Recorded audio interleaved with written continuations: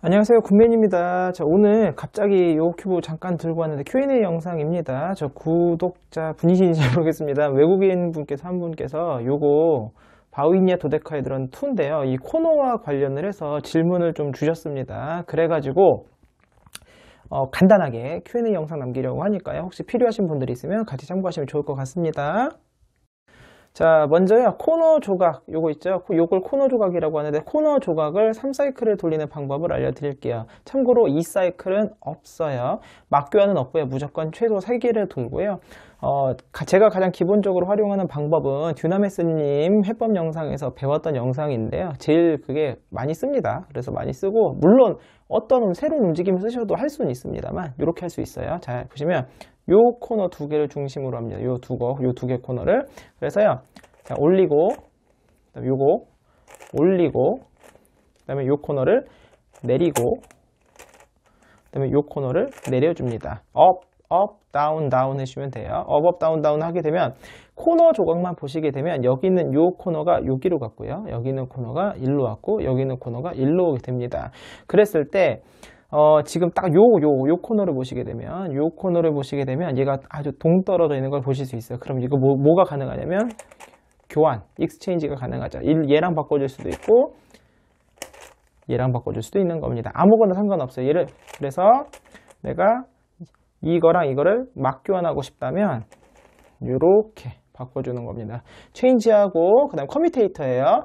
역공식 A, B 했으니까 A 프라임, B 프라임을 해주시면 돼요. 그래서 왼쪽부터 이번엔 얘부터 이 코너 중심으로 up, 요 코너 up, 요 코너 다 아이고 아이고 참 천천히 down, 요 코너 down. 그다음에 이제 B prime 요거를 원래대로 돌려주시는 거죠. 그러면 3사이클 공식이 만들어졌죠. 여기 있는 코너가 1로, 여기 있는 코너가 1로, 여기 있는 코너가 1로 3사이클을 돌릴 수가 있습니다. 만약에 역방향, 거꾸로 reverse 하고 싶다면 중간값 B에 해당하는 중간값을 먼저 넣어주시고요.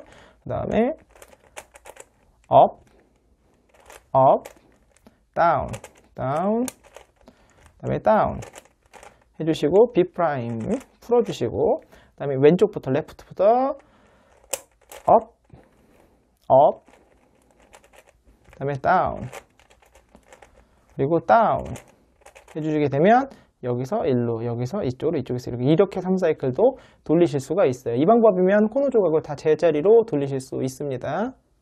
자, 두 번째는요. 코너 조각의 이제 어, 방향, orientation을 바꿔주는 건데요.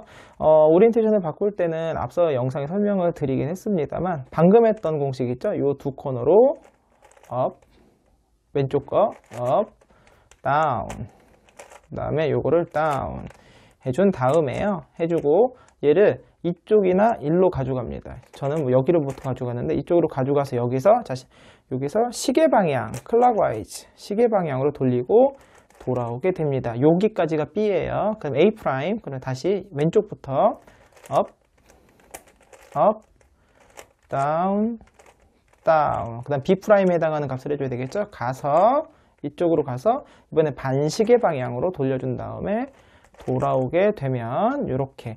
지금 보시면 이 조각과 이 조각이 지금 회전한 게 보이시는데 자 얘 같은 경우 잘 보시면 여기서 제일 중요한 점인데 얘가 clockwise 얘가 unclockwise죠? 그러니까 반대 반시계 방향으로 가게 되면 얘는 반드시 시계 방향으로 돌게 있습니다. 그래서 마이너스 1이면 얘는 플러스 1이 돼야 돼요.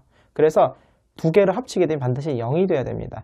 혹시라도 얘도 시계인데 얘도 시계로 돼 있다 그건 parity 상황이에요. 그래서 그건 해결할 수 없고요. 이거 반대로 돌리게 되려면 어떻게 하면 될까요? 지금 얘를 얘가 지금 반시계로 돌리면 되잖아요. 그럼 반시계로 먼저 돌리겠습니다. 오른쪽 up, 왼쪽 up, 아이고 오른쪽 down, 그다음에 왼쪽 down. 그리고 나서 얘를 이렇게 이쪽으로 돌아서 반시계니까 이번에 반시계 방향으로 여기서 이렇게 반시계를 돌려주고 원위치로 돌아옵니다. 그 다음에 이번 왼쪽부터 다시 up, up, down, down 한 다음에요. down 한 다음에 얘가 다시 가서 여기에서 이번엔 시계 방향으로 여기서 시계 방향으로 원래대로 맞춰주고 돌아오게 되면 이 두 개를 역시나 교정할 수 있습니다.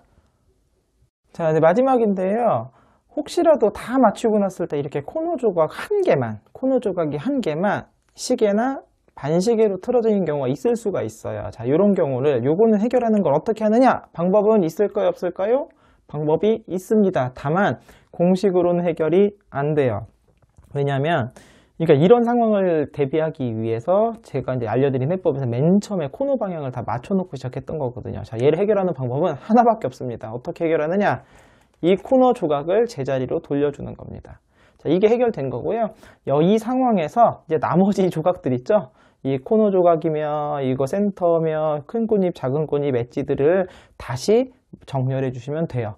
당연히 굉장히 어렵겠죠. 그래서 요거 하나 해결하려면 이 윗부분은 거의 다 분해했다가 다시 맞춰야 되기 때문에 제가 추천드리는 것은 맨 처음부터 이 코너 조각을 먼저 위치와 방향을 전부 맞춘 다음에 그 다음에 이제 공식을 써서 쭉쭉쭉 맞춰주시고 마지막에 뭐 해결하시는 방법을 추천드립니다.